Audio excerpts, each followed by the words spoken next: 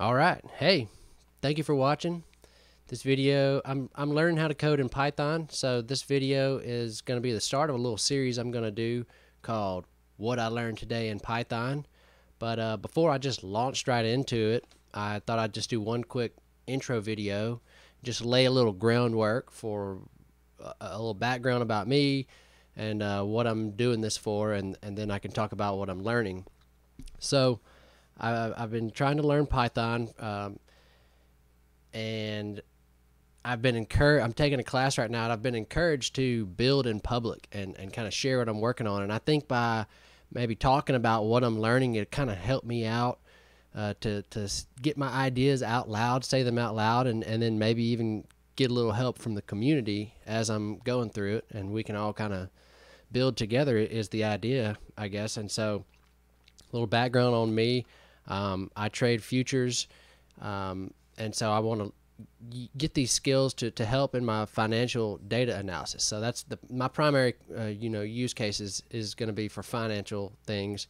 Um, so I trade futures. Before that, I uh, engineered industrial hydraulics and programmed motion controller devices.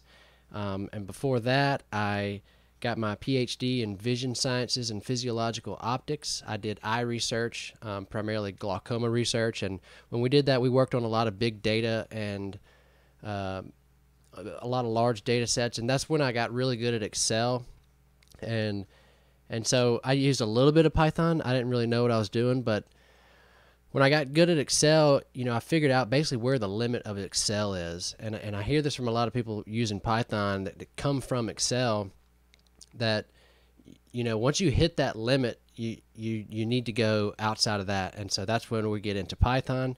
And so what i've done so far i've uh, just taken watched a lot of youtubes taken some online courses.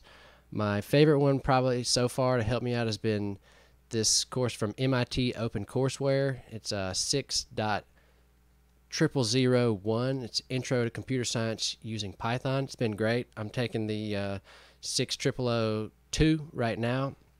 Uh, I've got I downloaded a bunch of books. Um, I got some right here.